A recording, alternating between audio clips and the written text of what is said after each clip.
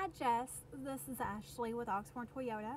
I wanted to send you a quick video greeting to introduce myself so you can see who you've been working with. Thank you for speaking with me earlier on the phone about your interest in a new Sienna and trying to lower your monthly payments. I'll go ahead and follow up with my manager tomorrow when he comes back into the office and I will get a quote for you.